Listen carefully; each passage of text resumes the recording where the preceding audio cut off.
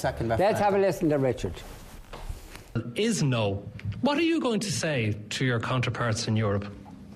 Well, the Irish people have yet to make a decision. And Not I'm just not, I'm- assume. You have to have a plan B. If your plan A of a yes vote doesn't work, you have to have a plan B. A plan- What will you go back and tell the European Commission and all the other governments in the Eurozone? Well, I suppose we will have to say that we need we will need access to the uh, this fund, and I think Ireland will be looking to say, can we vote again? Because we will we will need access to this fund. Sorry, are you suggesting that if there is a no vote, that this government will look to rerun the election? No, I'm saying again? I'm saying that we will have a That's crisis on our hands, but we, we will have a crisis on our hands, and we will face a really difficult uh, situation in, in funding ourselves. That's it. That is the reality.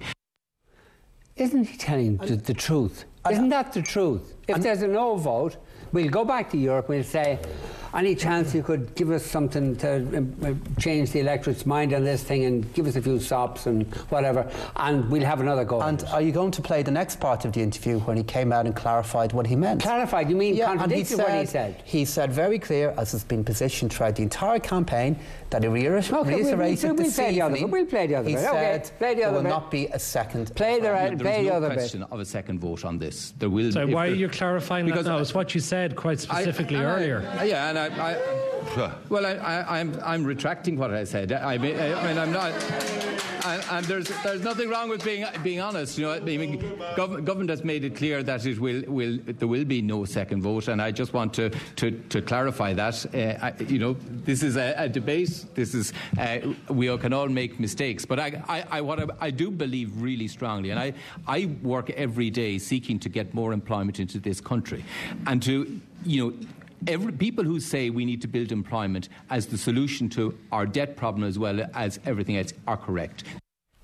He was retracting what he previously said. It wasn't withdrawing it. It was. Re- it wasn't clarifying. It was retracting. Yeah. It. Now, wasn't but wasn't he telling the truth in the first instance that if there is a no vote, we'll go. The truth is, we'll go back to Europe and say. Oh God! These bloody people we have are very obdurate and thick-headed. And can we? Can you give us something that will entice them to vote again, and we'll have another go at it, and then we get access to the ESM? Isn't that what's going to happen? No, because What- this what do we do entire because this entire treaty will be enacted and come into force, Yeah, yeah, regardless of what happens here Yeah, in of Ireland. course, we know that. And what Richard said earlier on is, if we wake up the following day or find ourselves in a situation where it's not ratified, we could be facing a crisis. We could, yeah. Because there'll be the crucial question of how do we fund our public services. Right, Paschal- And, Rich, Paschal. and in a, let me finish this point, and thank you for playing the second half of the interview, because in the second half of the interview he said, in the heat of what was going on, as can happen to any of us, he wasn't clear and he retracted it and said what he's been saying for the entire campaign and said tonight. Right, can I ask you, Paschal? What will the government do if there's a no vote? Please don't give a spiel about something else. Just answer that question.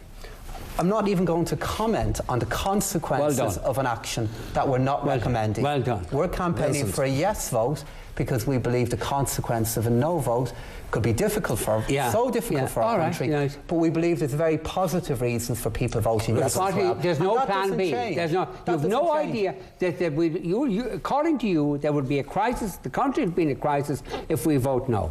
So you've no plan at all of how to deal with that Our, crisis. our plan is to win this campaign. I know, we know to that. win it We know that, we know that, but it's up to the to people to date, decide. We've seen a re- good response Wait, to that. After, after five years of our elites having never a reserve contingency to compensate for any sorts of risks that might uh, ar- arise during their policy uh, implementation, why are you still expecting this government to produce a plan B? There is no plan B. If we vote no, course there's a they will send us back to voting booths once again. And the reason why is because this government, like the previous government, have shown very consistently that they cannot by themselves, through their own policy, resist the tide of harmonization which is being pushed into Ireland and into other countries through the different mechanisms in Europe, which are mistaken mechanisms because they're not resolving any problems that Europe is facing. But that's entirely different. how to that's find economic out issue. what the plan B is. I mean, know we're how to talking, find out. we spend, I've, I've got an idea. I don't know how to find out the plan B is. Next Monday or Tuesday, we'll have the American ambassador here, and we'll ask the American ambassador what are they telling you in private they'll do if there's a no vote. And do you think Well, you of could